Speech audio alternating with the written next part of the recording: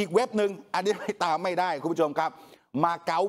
888อะตามที่คุณดิวเขาออกมาแฉก่อนหน้านี้ คนก็เลยเพ่งเล็งไปที่อดีตคนเคยรู้จักหรือเปล่า ว่าร่ำรวยมาจากการเป็นเจ้าของเว็บพนันมาเก๊า888 หรือไม่ แล้วแล้วแล้วแล้วตำรวจตรวจสอบไปถึงตรงไหนอย่างไร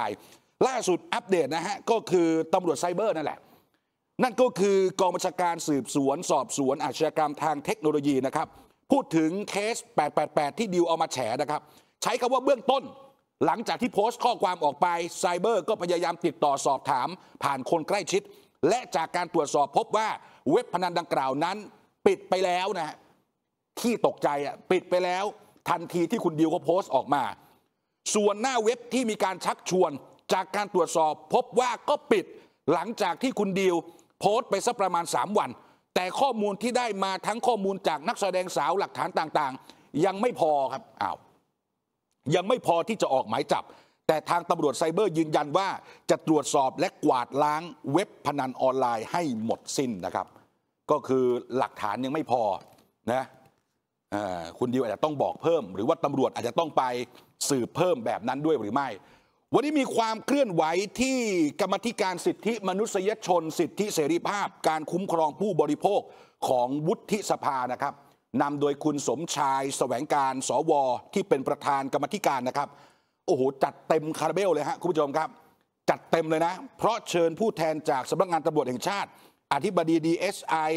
ปปงเลขาคณะกรรมการคุ้มครองผู้บริโภคผอสำนักงานสลากเข้าให้ข้อมูล เรื่องปัญหาการจัดจำหน่ายสลากกินแบ่งรัฐบาล เกินราคาผ่านทางออนไลน์นะครับ แม้ที่ผ่านมาการทำงานเนี่ยจะบอกว่าไม่ได้มุ่งเน้นเฉพาะน็อตกองสลากพลัดนะครับ พูดถึงแพลตฟอร์มของเอกชนทางออนไลน์ทั้งหมดนะครับแต่ก็อย่างที่ทราบนะครับว่า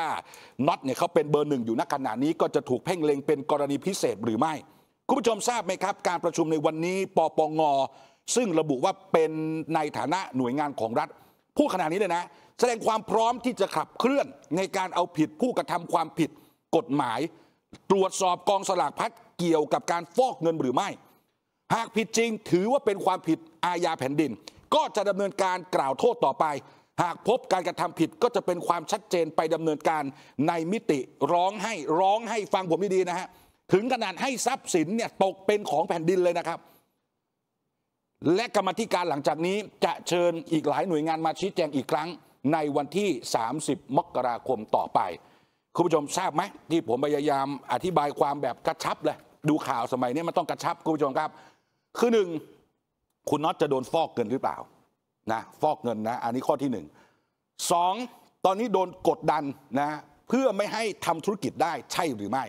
เพราะกองสลากบอกแล้วไงว่า ผู้ค้าที่ได้โคต้าแล้วเอาไปขายแบบนี้จะถูกตัดสิทธิ์ทั้งหมด อย่ามาร้องโอดครวญทีหลังนะ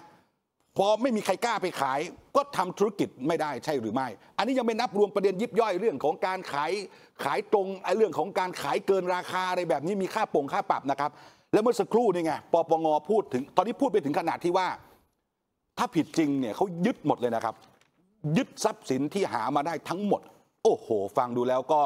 เรื่องใหญ่นะฮะเพราะฉะนั้นก็ต้องจับตาแล้วก็ติดตามต่อไปอย่างใกล้ชิดครับ